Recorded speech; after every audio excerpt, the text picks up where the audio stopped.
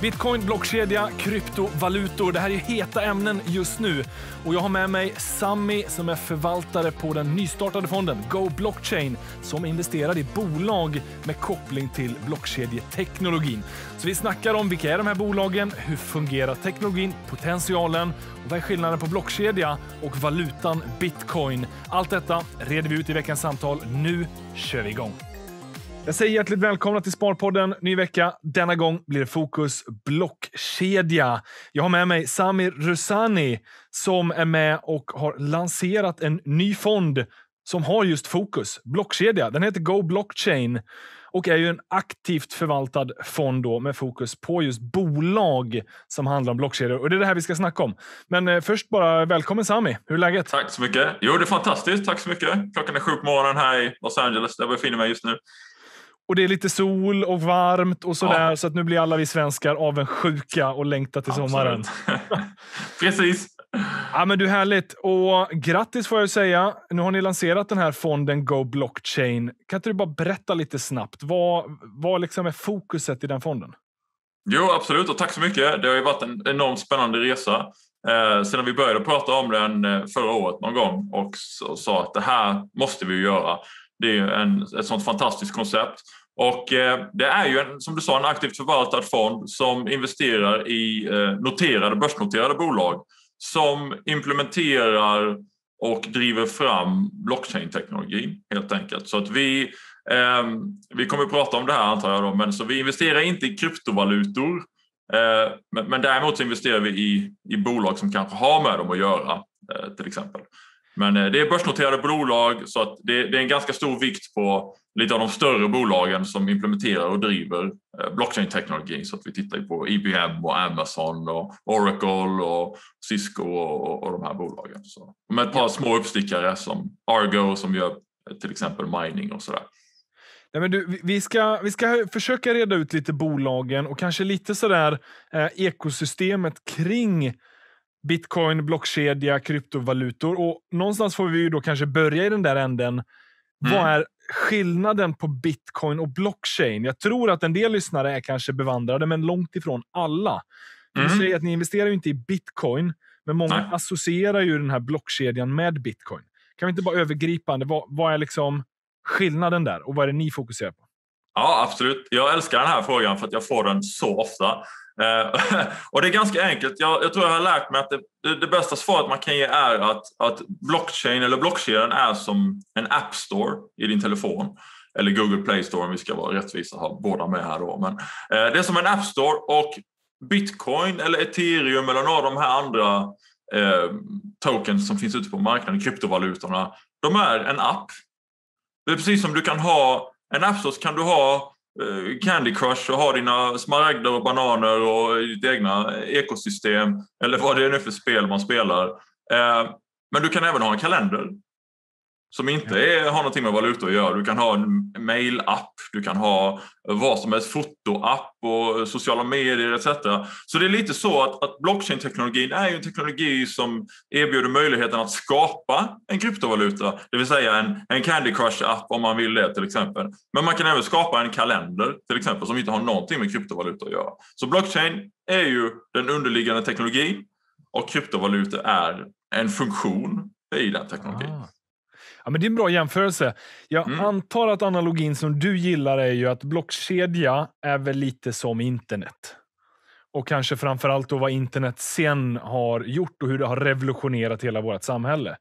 Absolut. Eh, det är väl den teknologin och vad det sen kan användas till som vi än idag inte vet. Bitcoin är en applicering där det mm. kanske är en valuta eller kanske ett store of value.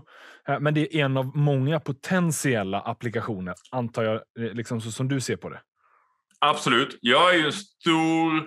Eh, alltså jag tror ju verkligen på att bit, eh, ja, blockchain kommer förändra världen som vi känner till den idag. Den är ju faktiskt en av de...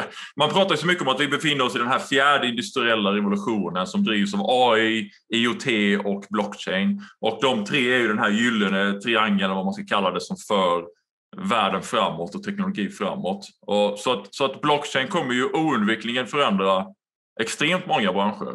Eh, för konsumenter, för bolag, för globala transaktioner för eh, ja, vad man nu än vill. Eh, och det finns ju många tokensystem idag som redan är implementerade och som är fullt funktionella.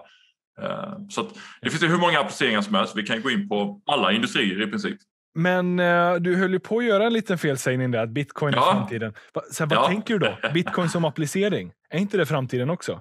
Och varför investerar ni inte i bitcoin? Uh, mm. var, var, var, gör, varför gör ni den distinktionen? Jag vet inte, det kanske inte ens är tekniskt möjligt i det finansiella systemet. Men uh, ja, vad är tanken där? Ja, nej, det är en jättebra fråga. Um, personligen och mina egna vägar så tror jag självklart att, att bitcoin har en stark applik applikation i, i världen eller, uh, som en standard. Det är som en guldstandard inom digitala valutor i princip kan man säga.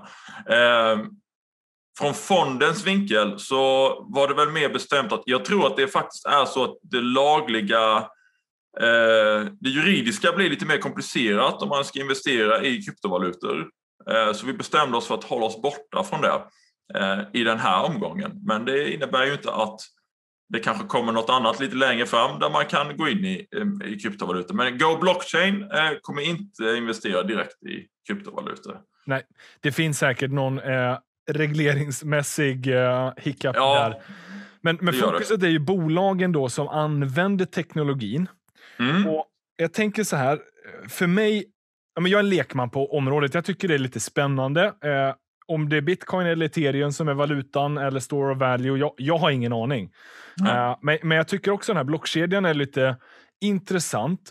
Och varför den är det är ju för att du har den här transaktionshistoriken i bitcoins fall. Då. Den verifieras mm. av nätverket och ingen kan liksom manipulera det där. Mm. Så det är ju, man kallar det för en ledger och, och sen är det liksom man bara skjuter in information och sen kan man läsa av. Så ingen kan ta bort eller manipulera historiskt. Exakt. Men vad, vad kan man göra mer än bara liksom valutatransaktioner med bitcoin då, så, eller blockkedja som teknologi? Jo, men eh, Alltså valutatransaktioner är ju en liten del av vad man gör, men om du tittar på att verifiera allting egentligen. Du kan ju verifiera om man tittar på eh, supply chain och en värdekedja till exempel, eh, saker som rör sig. Eh, var har den här containern varit någonstans? Eh, hur många fanns det i hela lasten till exempel? För det är ju ganska vanligt eh, att det kommer in tio containrar och så sitter det någon admin i något centraliserat system och säger men det kommer ju bara in nio. Och så tar man en och, och skickar till sina kompisar. Liksom. Och, då, och har adminen satt nio, då finns det bara nio. För det finns ingen som kan göra någonting åt det. Men i en blockkedjemiljö så är det omöjligt. Du kan inte ändra det från 10 till 9. Har det stått 10 från början så det går inte att ändra på till exempel. Du kan se var din mat kommer ifrån. Du kan se om diamanterna du köper kommer från eh, konfliktområden till exempel. Du kan mm. Eh, se till att transaktioner, globala transaktioner sköts på rätt sätt av mellanhänder och banker. Eh, du kan ge ett initiativ som jag tycker är jätteintressant, till exempel är ID, eh, eller ID 2020, ID 2020 då, som eh, som Microsoft och Accenture de här gått in med där det finns 2,5 miljard människor tror jag i världen som inte har några ID-handlingar. Så egentligen finns de inte på papper så de kan inte få sjukvård, de kan inte få körkort, de kan inte få pass etc. Och då hjälper man dem att ge dem till exempel digitalt ID. Så är det stämplat i blockkedjan så går inte det heller att förfalska och ändra. Om vi tittar på universitet här till exempel, MIT ger ju ut diplom på blockkedjan nu eh, för att de har haft lite problem med folk som har gått in och ändrat. Så att hela decentraliseringen är ju så intressant för att nu, nu, längre, nu, finns det inte längre en enda central punkt där du kan liksom hacka dig in. Ska du hacka ethereum eller bitcoin, då måste du hacka tiotals miljoner datorer över hela världen exakt samma tid för att ändra en grej. Och så måste du göra det igen för att ändra förra, förra grejen. Och förra, alltså det är helt, helt omöjligt att göra det. Ja. Så där har du några appliceringar. Jag kan ju Nej, men, fortsätta. Ja, jag, jag, jag förstår att du, du, skulle nog kunna fortsätta. Men, ja, jag kan hålla tal här. Men, ja. men jag tänker så här. Eh, nej, men du har ju rätt i att den är svår att manipulera. Ett bitcoin. För, mm. Någonstans för mig då. Det finns ju en, en ett bitcoin. Den har ju sin blockkedja. Och sen mm. finns det ett ethereum. Den har ju sin blockkedja. Och mm. sen då pratar du om det här logistikbolaget. Tänker du att det logistikbolaget ska ha sin ytterligare blockkedja? Eller ska den koppla upp sig på bitcoins eller ethereums blockkedja? Eller vilken mm. blockkedja är det man tänker? Eller, ja, det är ju en fan, fantastisk fråga, för då kommer vi in på diskussionen om privata jämfört med publika blockkedjor. Då. Privata blockkedjor, då tittar vi på IBM och Maersk till exempel som har sin blockkedja de har gått ut med i flera år nu och, och skickat ut pressreleaser och gjort pilottester och, och allt sånt här. Eh, där det gäller just supply chain. Eh, de har ju en privat blockkedja och, och vad man tycker om det ja, jag har ju varit ganska, eh, ganska hård mot eh, privata blockkedjor historiskt sett, men jag förstår applikationen av dem. Men hela idén med en blockkedja är ju faktiskt eh, att det finns en publik liggare, så att säga, ledger som alla kan titta på och att det är ett decentraliserat system där alla kan delta. Men eh, visst, inom bankmiljöer och inom deras miljöer etc. så finns det ju eh, use cases för privata blockkedjor också. Så, eh, det säger jag inget emot, men när du har till exempel en publik blockkedja, ja då kopplar man ju upp sig mot ethereum till exempel. Nu har det kommit en massa nya. Eh, Binance har sin smart chain och det finns Polkadot och det finns Eh, Eh, hur många som helst, eh, olika blockkedjor. Men ja, tanken är ju att då har man ett, e- en egen miljö eh, som man via ethereums blockkedja, eftersom den är den har blivit använd så länge nu. Den har varit uppe sedan 2015 skulle jag tro. Eh, och det är ingen som har hackat den, det är ingen som har förstört den, den har inte haft några större eh, vad ska man säga, det har inte hänt några större fel eller misstag i den etc. Förutom att den, den är lite dyr att använda. Ehm, så det är ju tanken, men det finns ju bolag som bara specialiserar sig på att koppla mellan blockkedjor också. Ah, okej, okay, okej. Okay. Så att om jag ska liksom tolka svaret på frågan så är den inte helt mm. självklar. För Det du pratar om en privat eh, blockkedja eller en publik. Alltså ett mm. privat är ju då om IBM har sin egna. Eller Riksbanken har sin egna när de vill göra en e-krona. Medan en publik är ju då bitcoin, ethereum, där mm. nätverket, där du själv kan gå in och, och vara en miner eller nod och verifiera. Ja. Och du kan när som helst stänga ner eller starta upp och, och, och liksom sådär. Och då finns hela blockkedjan att ladda ner. Precis. Så att, någonstans är det kanske inte helt självklart då hur, vilken applikation. För det tänker jag, för dig då att försöka spana de här framtidsbolagen. Mm. Det, det, finns ju alltid en risk i att ja, men ethereum har funnits i fem sex år. Det är lång tid, men det är också kort tid, beror på hur man ser på det. Mm. Eh, det är ju en organisation som står bakom det där och har ju ändå viss inflytande i hur man ska ändra kedjan going forward. Och det vet ju man ju inte kanske vad det kan bli förändringar framöver sen heller. Jag bara tänker så här, det kan finnas en risk för ett företag att bygga hela sin affärsmodell mot ett koncept som sen kan bli ändrat. Nu, nu, nu, som sagt, jag är en lekman mm. på området, men man går över från proof of eh, concept till stake och liknande. Mm. Jag kan ingenting mm. om det, så jag ska inte försöka ens låta som att jag kan någonting om det. Men jag bara tänker så här. Jag som investerare tänker att vad är risken i det? Vad är risken i att använda någon annans blockkedja versus att Mesh då kan ha sin egna? Eh, Just det. Absolut. Man kan ju även fråga sig, man kan ju vända på frågan och kolla vad är risken med att använda en privat blockkedja? Nu vet jag att du kommer säkert få massa arga e-mails, men en, en privat blockkedja är ju egentligen inte en sann blockkedja. För att har du ett begränsat antal eh, som är med och verifierar transaktioner så innebär det, jag brukar alltid dra den här eh, liknelsen att om vi tittar i mänsklighetens historia där kungadömen har ingått i allianser. Har det någonsin hänt att två stycken har gått samman och puttat ut en tredje? Ja, det har det. Läs historieböckerna, eller hur?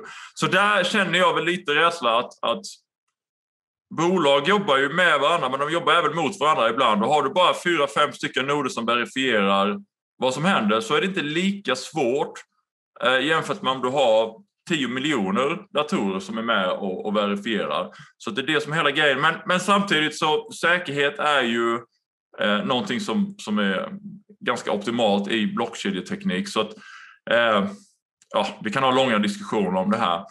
Men ja. Det låter på dig ändå som att du favoriserar de publika blockkedjorna och bolag som applicerar den typen ja, av teknologi. Ja, det gör jag. Och när man, för att återgå till din fråga här, om, om, man som en investerare då ska titta på, ja, är det riskfyllt att investera i ett bolag som går in i en publik blockkedja till exempel? Nej, för att de publika blockkedjorna har ju inte blivit hackade ännu. Det är ingen som kan hacka dem, tror jag, inte ens med de nya kvantdatorerna etc. Um, Dessutom så är det ju, eh, det är ju ideella organisationer som utvecklar det här och de gör det för ekosystemet. Så det, det, är ingen, det sitter ju inte bara en utvecklare som kan pusha en helt ny version där som ställer till allting. Hela nätverket måste ju godkänna det. Mm. Eh, så jag känner väl liksom att, att när man tittar på de här nya blockkedjorna som kommer ut. Blockkedja handlar ju om ekosystem. Det handlar om community, det handlar om transparens. Så att det går ju emot lite. Det är därför de flesta som är lite så här eh, blockchain-snobbar eh, eller vad man ska kalla dem, de är ju väldigt emot det här med privata blockkedjor. För då är det, det är bara en distribuerad databas i så fall i ett privat nätverk. Varför ska du använda en blockkedja, tycker de då? Eh, jämfört med att ha den här privat, eller publika ledgern där alla kan vara med. Det är ju det som är det unika konceptet. Att jag behöver inte känna dig, jag behöver inte lita på dig, men jag vet att du kommer agera för nätverkets bästa. För gör inte du det, då kan du inte lita på att någon annan gör det heller och då faller ju hela nätverket samman. Mm. Uh, ja, men, det är en intressant tanke, men jag, jag tänker så här, om vi är tillbaka till det här logistikbolaget, så att det var bara nio istället för tio container. Uh, mm. det, det, är ju för att den där personen som jobbade i admin uh, fifflade bort den. Har du en privat blockkedja, att det är Mesh själva, så kan ju de då fiffla bort container om de själva kontrollerar det. Så det är väl det du eh, liksom syftar till, att den ska vara publik så att ingen kan på något sätt manipulera den. Ja, alltså nu använder ju Max till exempel, eh, de är ju ett våra portföljbolag så ska jag inte sitta och säga att de har en osäker blockkedja. Men det jag säger är att när man använder privat blockkedja så som Hyperledger så finns det kanske eh, lite mindre punkter man måste, man måste liksom knäcka och, och fiffla med än i en publik blockkedja. Ja. Eh, än, än vad, just vad de använder för någonting. Men, men att eh, jag tror att, jag är inte 100% hur de har verifieringsnoderna uppbyggda, men eftersom du ingår i en allians med flera bolag så kan inte någon på Maersk bara gå in och ändra, utan det hade okay. ju setts av de andra bolagen. Så, ja.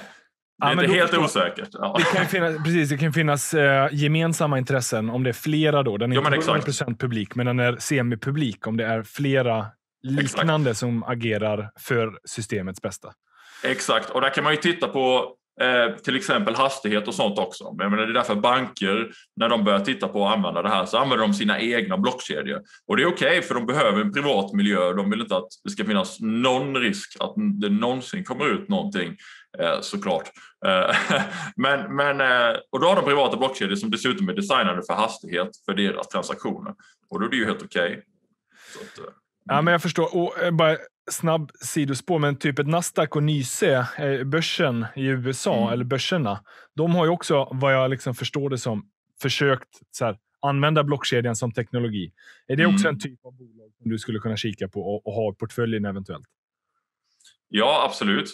Alltså det är intressant när de stora, alltså just inom den finansiella branschen, så där kommer ju block, det har ju redan totalt rört om i grytan. Eh, när man kollar på DeFi och, och sånt här eh, och eh, ja, valutahandeln och, och, och etc. Så eh, absolut, det är ju någonting som kommer komma. Det är inte riktigt där ännu, vi är fortfarande tidigt i teknologin, men kommer det komma? 100 procent. Men en intressant fråga är ju också då, om man nu använder analogin internet, 90-talet, mm. internet var i sin vagga, det var hur revolutionerande som helst. Möjligheterna de var uh, oändliga. Och Sen vet vi vad som hände därefter. Uh, man tog ut väldigt mycket i förskott. Det tog ett tag innan teknologin faktiskt kunde användas med de visionerna man hade. Men man fick ju rätt. Här 15-20 år senare så är ju det mesta digitalt. Finns det risk att vi kommer gå igenom samma period för blockchain? Att det är nu vi är i hypen och sen så kanske man inser att alla de där potentialerna kokade bara ner till några få. Och sen 10-20 år bort så har vi ändå någon ny standard. Liksom så här, tänker du de banorna eller mm. ska man bara ja, det... liksom leva med det? Eh, att det är mycket intresse för det just nu? Nej, alltså, jag tror att den stora hypen var 2017, 2018. Då gjorde alla pressreleaser om att de skulle göra blockchain, Eh, det var massa sådana här ICOer, det var hur mycket som helst som hände. Och sen så kom den långa kryptovintern då eh, 2019, 2020. Ehm, och nu känner jag väl att nu är det lite seriöst. Nu är teknologin där den faktiskt implementeras. Vi såg ju till och med bolag som JP Morgan som satt och hånade bitcoin och krypto 2017 men som nu har sitt egna, sin egna token och investerar miljardtals dollar i bitcoin. Eh, hur snabbt de har vänt på det. Eh, vi ser ju alla de stora, Mastercard och Visa och alla de stora bankerna involverade. Du ser Grayscale köpa eh, flera tiotals miljarder dollar för bitcoin. Så jag känner väl att vi är där nu där teknologin faktiskt börjar användas. Eh, den börjar implementeras. Och precis som internet tog 20 år att komma någonstans. Om vi tittar på de här industriella revolutionerna igen, då har du liksom implementering av liksom ångmaskinerna tog väldigt lång tid. Eh, implementering av elektricitet tog också väldigt lång tid. Eh, men sen så kom internet och eh, e-commerce och då tog det väldigt kort tid jämfört med de föregående och den här kommer ta ännu kortare tid. Det kommer ta 20 år. Det kommer ta 4-5 år. Sen så är det fullt fräs på, på blockchain-fronten. Spännande. Du är väldigt entusiastisk. Det är kul att höra. eh, men jag tänkte så här, vi ska snacka lite bolag som håller på med blockkedja. Mm. In, innan vi går in på de som är i liksom blockkedjesfären. Mm. Det har varit kul att höra vad du tänker kring bolag som investerar direkt i valutan. Det är ju lite ett nytt fenomen. Men Tesla är väl den stora som får mycket uppmärksamhet. Men mm. ett MicroStrategy har ju gjort det över en tid. Till och med norska Acker köper in sig i valutan. Det finns inte en anledning för dig att få exponering mot kryptovalutan via de bolagen, så att säga. Eh, eller är det fortfarande blockkedjan som teknologi som är intressant för dig? Ja, men det, det, ja, det finns ju både och. Till exempel ett av våra små bolag som vi har i portföljen är ju Argo till exempel som bara gör bitcoin mining. Eh, så att, visst får vi exponering mot valutorna eh, via bolagen. Eh, men eh, jag tycker alltså på en personlig nivå är det otroligt spännande. Det är ju lite, lite ironiskt är det ju att Tesla går in och köper bitcoin och har nu tjänat mer på sitt bitcoinköp än vad de någonsin gjort på att sälja bilar. Eh, så, att, ja. så att, och att alla de stora finansiella institutionerna, jag läste en rapport också att de tio största eh, wealth management-bolagen och kontoren i världen också har köpt in sig i till exempel bitcoin och andra valutor.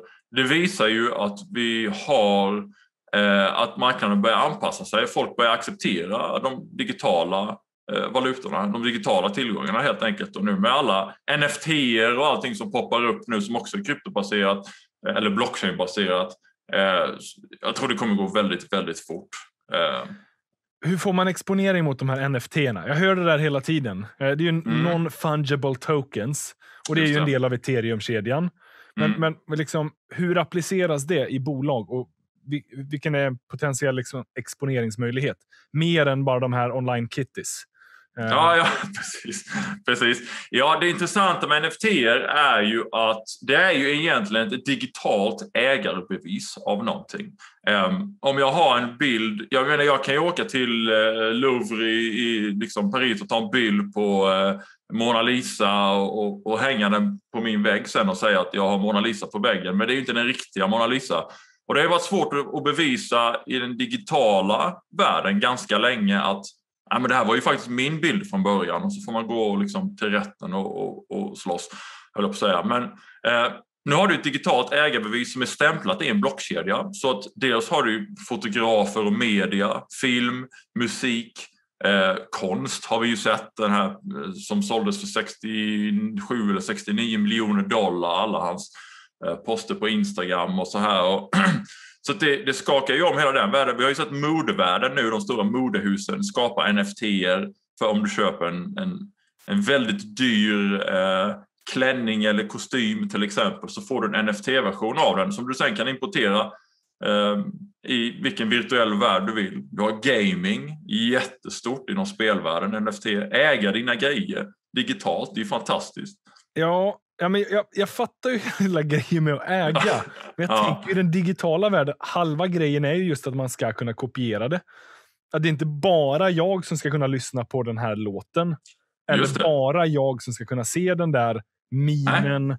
eller GIF-bilden eller vad det nu än är. Utan Helt och hållet. internet är ju liksom för spridnings skull.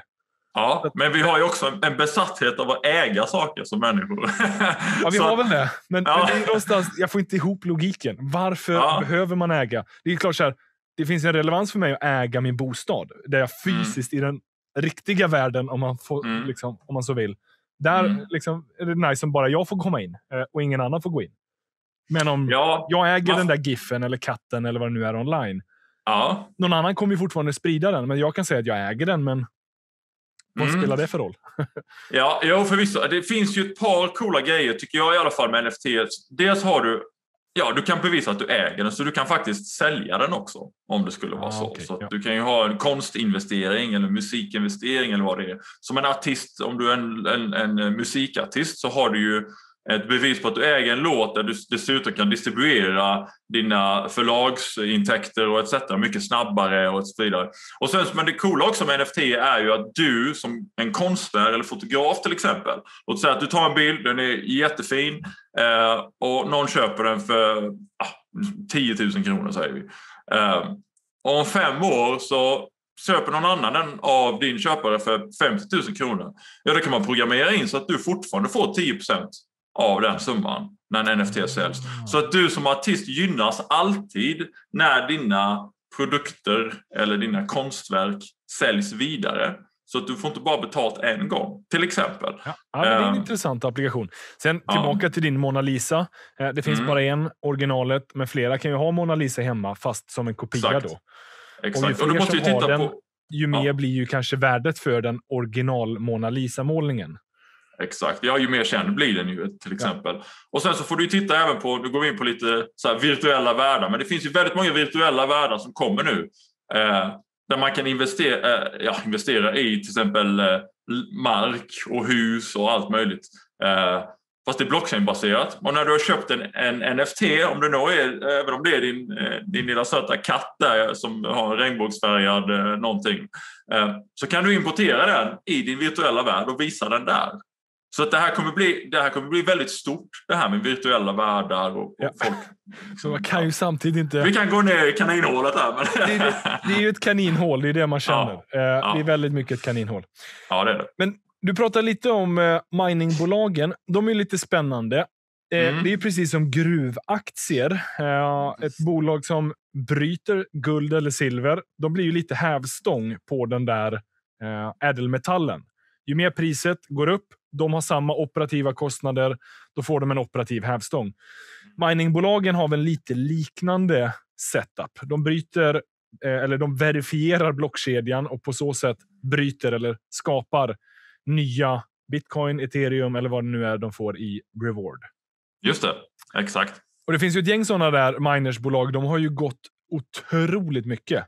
Mm. Och eh, ja, lönsamheten är väl fortfarande ganska skral, i alla fall när jag kikade på Riot. Men eh, mm. vad, vad, är liksom, vad är din tanke kring de här gruvbolagen? Det är ju en operativ hävstång när det är mycket intresse. Mm. Men motsatsförhållande gäller ju den dagen eventuellt intresset går ner. Just det. Jag tror att eh, när vi tittar på till exempel eh, Argos som ligger i vår eh, portfölj, eh, då har vi ju, de har ju rapporterat eh, ganska fina siffror på sistone. Eh, och bitcoin har ju gått upp väldigt mycket som vi har sett till exempel. Eh, och sen någonting som jag tycker om med dem också är att de har ju ett, ett så kallat eh, mission statement att, att, vara, att bara använda vad heter det, förnyelsebar energi. Grön energi då till exempel. För det har ju varit ett problem som har attackerats ganska hårt nu i press och media att oh, det tar så mycket energi och mina bitcoin och NFT, de drar så mycket energi och etc. Och, ja, där kan man ju debatt, det är ju en lång debatt så jag ska inte gå in på det. Men, men ehm, så det, det, ja. Men likväl, det, de drar ju energi och om de då kan mm. göra det med förnyelsebar energi så är ju det tacksamt. Exakt, exakt, exakt. Så det är lite sådana saker man tittar på också. Men det finns ju flera sådana miningbolag och jag, jag tror att, att, eh, bara för att snabbt svara på din fråga där, är ju att, att de investerar i framtiden. Vi tror ju att eh, bitcoin, eller de flesta, eh, till och med stora analytiker tror att bitcoin kommer nå 200-250 000 dollar liksom, inom ett par år. Så det kommer ju fortsätta gå uppåt. Ja, ja, jag har ingen aning om hur man eh, liksom värderar den där, så att jag vet varken om det ska upp eller ner eller fram och tillbaka. Eh, det, det, det är som allt annat, det är marknaden som bestämmer. Så. Det är väl någonstans det. Det är utbud ja. efterfråga i ja. slutändan. Men det är miningbolagen. Om man då mm. liksom vill sträcka sig ytterligare längre bort så finns det ju de här som skapar hårdvaran. Alltså mm. processorerna, ASIC-processorerna som mm. specifikt mm. liksom används för bitcoin mining. Eh, grafikkort med mera. Olika blockkedjor använder olika teknologier. Även de är intressanta för ditt perspektiv. Absolut. Eh, för att de är ju Kom ihåg att det är inte bara för mining och bara för bitcoin utan de kan ju användas för andra appliceringar inom blockchain-världen. Men det är klart att vi har ju tittat på, eh, i portföljen har vi till exempel både Nvidia som gör grafikkort eh, och vi har eh, Taiwan uh, Semiconductor Manufacturers också. Så det är ju liksom, vi har ju lite av de här chip och teknikbolagen i, i portföljen också. Eh, vi försöker balansera den så att vi har de, de, återigen, vi har de stora, de stora bolagen Eh, och sen så har vi de små uppstickarna så att man har en bra balans. Men eh, visst tittar vi på det, 100 procent. Sen är det ju Ja, men det, det, fick ju ganska mycket uppmärksamhet här. Coinbase noterade ju mm. sig. Eh, direkt noterade sig för någon månad sedan bara. Mm. Det är ju en handelsplattform för specifikt kryptovalutor. Mm. Eh, det, faller det också inom liksom scopet för er?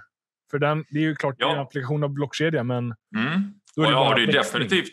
Ja. ja, fast det är ju ändå någonting som driver blockkedjeteknologin framåt väldigt mycket som en finansiell plattform. Eh, får man ju se också. Coinbase är ju backad av de, de största eh, finansiella investerarna i världen.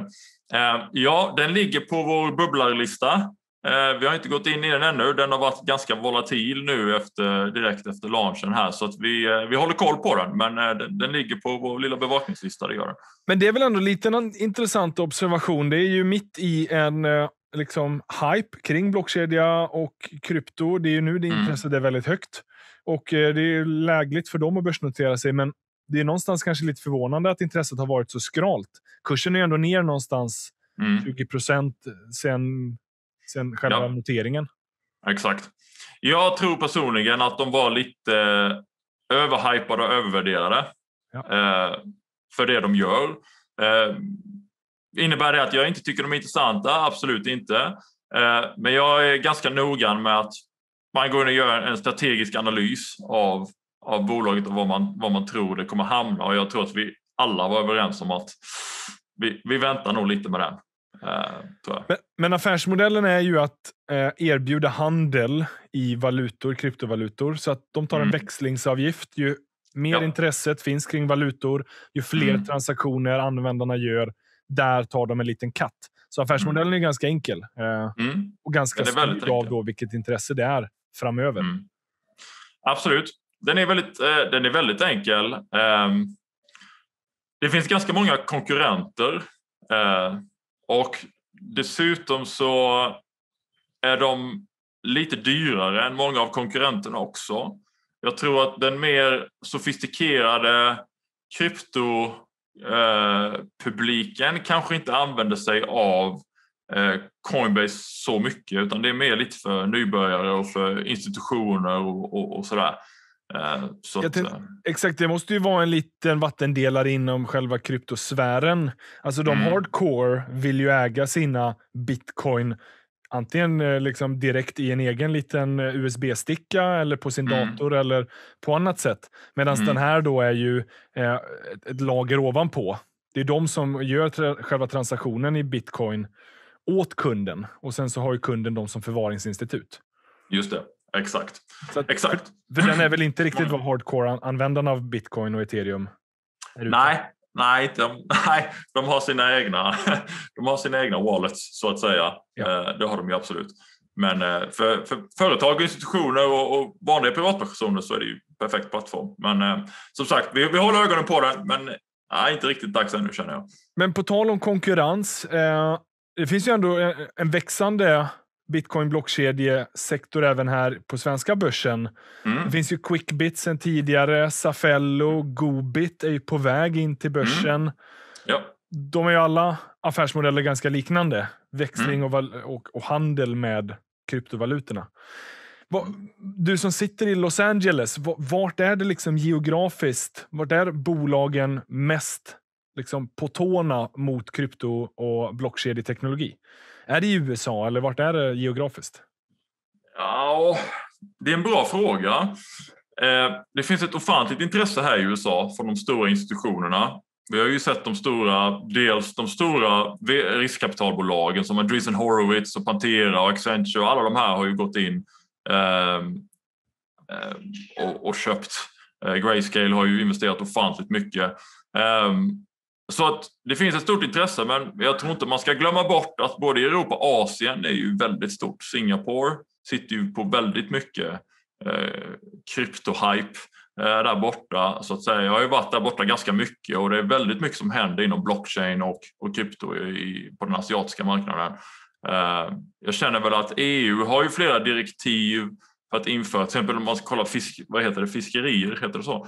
Eh, så man kollar vad var kommer fisken ifrån? Ja, okay, okay. ja. ja jag vet. Vad heter det för något? ja, man måste kolla var fisken kommer ifrån eh, och att den är eh, att det finns en, eh, en, en sustainable alltså lösning så att säga, en förnyelsebar lösning. Eh, och det är ju direktiv som de håller på att införa i EU så det kommer ju mer och mer. Men om du tittar på den vassaste, de vassaste bolagen känner jag väl just nu är väl ja, Asien och USA än så länge. Ja. Jag tänker så här, ibland när det kommer till bitcoin specifikt och, och vissa delar av kryptosfären så finns det ju den här lite anarkistiska ådran. Man är lite emot eh, liksom systemet, mm. centralbanker framför allt och penningtryckeri. Kina är ju inte liksom, känt för att vara en öppen demokrati, så där kanske det finns ett ökat behov från privatpersoner att känna att de kan ha lite mer kontroll och kunna äga både information och eh, någon form av store of value digitalt. Mm. Kanske någonting sånt som driver på processen också, eller vad? Nu tänker jag, det här är ju bredare nu om vi pratar blockchain. Ja. Det är givetvis bredare mm. än bara eh, antistatbolag mm. eller antistatindivider. Ja, alltså jag tror, jag tror många av de individerna finns väl utanför blockkedjan också. ja, så är det ju. Så är det ju jag, jag, jag, kan väl hålla med om att det har funnits en, vissa som filosoferar väldigt mycket om att liksom, man ska få bort bankerna och man ska få bort statens kontroll. Och, det kommer aldrig hända, det tror jag inte. Eh, jag, jag, tror att människor behöver liksom, fasta ramverk att, att, att följa. Så att jag, är inte så inne på den filosofin. Eh, jag känner väl att... Eh, blockkedjan ja, kommer kan... leva mer i symbios, eller? Ja, exakt. Blockkedjan kommer ju vara en del av då kan man ju säga, kommer 5G-tekniken möjliggöra att eh, de här individerna kan kommunicera med varandra? Ja, jo, det kan den väl, men det, de hade ju hittat andra sätt om inte 5G hade funnits ändå. De hade de gjort röksignaler eller telefon. Eller så att jag känner lite att det är, lite, det, är lite, det är en bra fråga. Jag tycker att, att blockchain och krypto får lite orättvist. En sån där, ja men det är jättemånga kriminella som använder det och möjliggör det inte massa konstiga saker. Jo, visst, men hur många kriminella använder inte amerikanska dollarn? Liksom? Eh, eller internet. Så, eller, ja, eller internet. Eller jag menar, ja. Du kan köpa en morakniv och tälja till en fin figur eller så kan du gå ut och liksom ja. begå brott med den. Liksom. man kan ju inte skylla det på moraknivarna liksom, utan det är ju vad gör folk med tekniken? Det är det som spelar någon roll. Så att, eh, ja, jag, fattar, jag fattar vad du menar, men, men eh, ja, vi tittar ju inte, vi tittar inte alls på det. Nej, nej, men det var ett väldigt bra sätt att, att förklara det liksom, och bemöta den kritiken. För den finns där, mm. men den är ibland kanske lite oförtjänt. Ja, det tycker jag absolut. Mm. Men eh, Asien är det mycket, men vad, vad tror du om svenska krypto, blockkedje, eh, mm. liksom, sfären? Eh, det, som sagt, kommer ju en del nya bolag till börsen. Mm. Upplever du att det finns ett högt intresse bland svenska bolag? De är fortfarande relativt små sett ur ett internationellt perspektiv. Så jag vet inte, är det mycket på din radar eller är de lite för små? Ja, nu har jag ju varit i LA i 16 år här så att, och är på väg till Sverige till hösten. Så att jag kommer ju djupdyka mig in i svenska blockchain-ekosystemet mer. Jag känner väldigt många programmerare och folk som är intresserade av blockchain i Sverige, men om jag har hört det från jättemånga bolag, det vill jag väl inte säga. Vi har ju eh, det finns ett par bolag som, som jag är involverad i, spel och e-sport till exempel, som går in i blockchain-världen. Ehm, och det finns eh, lite bolag som tittar på, jag vet att det finns svenska bolag som tittar på det här med supply chain och, och lite sånt här. Och jag pratar med även med ett annat bolag som gör eh, transaktioner eh, jämfört med till exempel Ripple och de här då, som transaktioner mellan banker internationellt och sådär. Men om det är no, eh, jag vill väl säga att det är väl inte jättemånga bolag jag får höra om från Sverige som inne i blockchain, men det, det kanske kommer efter det här då. Ja.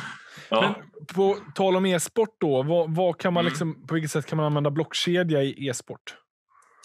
Ja, men blockkedja i e-sport är ju otroligt intressant för att då har du till exempel enkla NFT återigen.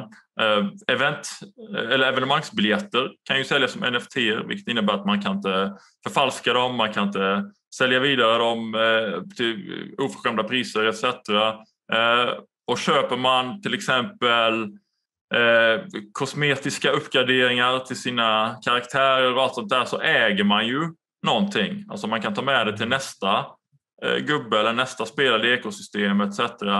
Eh, så att jag tror att, att, att, ha ett ekosystem som är eh, gamified kallar vi ju det här, eh, är ju ganska naturligt inom e-sport där man får eh, belöningar för om man gör vissa saker och så kan man betala för att få använda vissa saker, precis som i ett vilket spel som helst. Om man tittar på mobiltelefon, liksom, då kan du använda bananerna till att köpa en kista eller så, så, så trycker du på knappen x antal gånger så får du x antal bananer. Liksom.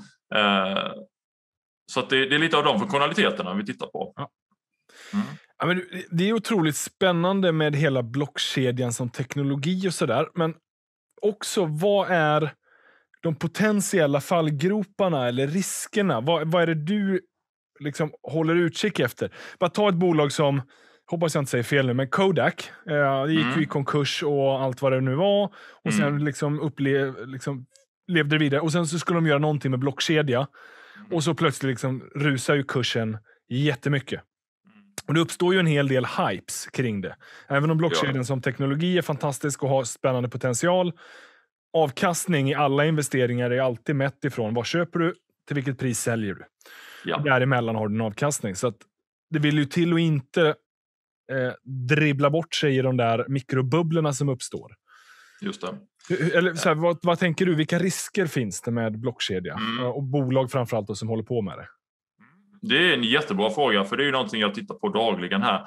Och det är ju att den största risken tycker jag väl egentligen att, att hur mycket jag än älskar blockkedja och blockkedjeteknik så är det lite hypat som en allt i allo-lösning för allt. Det är nästan du kan bli solbränd och bota cancer med blockkedja. Liksom. Mm.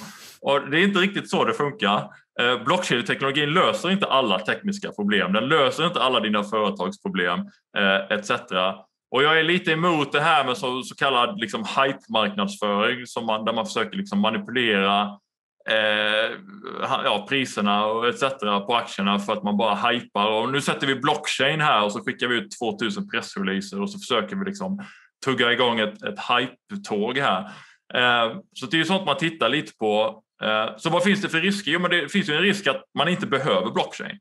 Det finns en risk att man inte riktigt förstår, och den, den har jag sett flera gånger, att man inte riktigt förstår när man bestämt sig för att nu ska vi göra blockchain och så förstår man inte riktigt hur man ska göra blockchain så fastnar man och så kostar det en väldans massa pengar. Vi har ju sett flera bolag förlora hundratals miljoner dollar på att de byggt helt felaktiga system.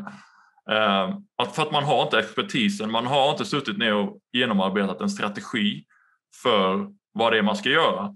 Så det är därför jag är, jag är just den människan som ringer bolaget och säger jag vill se den strategiska implementeringen av blockkedjan här. Vi är en fond, vi tänker gå in och, eller vi tittar på att gå in och investera. Nu vill jag veta vad ni ska göra. Är det bara en pressrelease eller ska ni faktiskt implementera? Vem kan jag prata med? Vem är blockchain lead?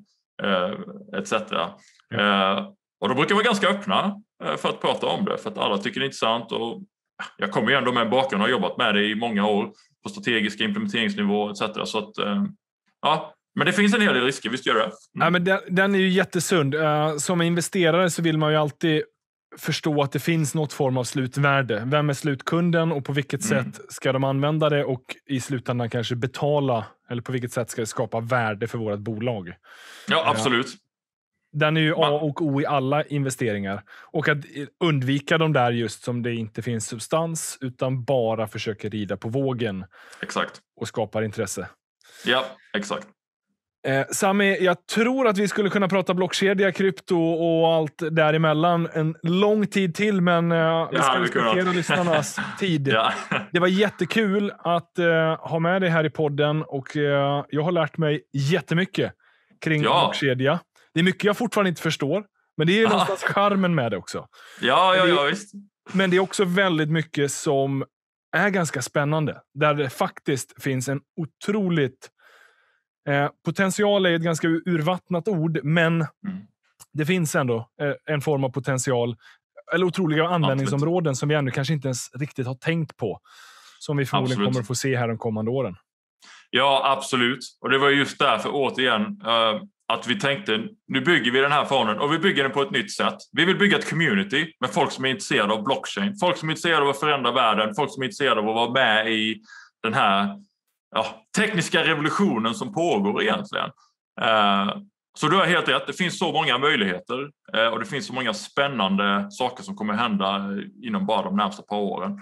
Eh, Så att, ja, nej men tusen tack. Det var ett, ja, det var ett jättekul att vara med här. Bra diskussion och bra samtal. Ja, men tack så mycket Sami och eh, lycka till nu med fonden framöver så får vi se. Det finns kanske all anledning att göra någon uppföljning för att se hur det utvecklar sig i blockkedjesfären. Ja, Men eh, till er lyssnare, stort tack för att ni har eh, lyssnat eh, och ni vet att vi är tillbaka nästa vecka igen. Och till dig Sami, än en gång, stort tack för att du medverkar i Sparpodden. tack så mycket.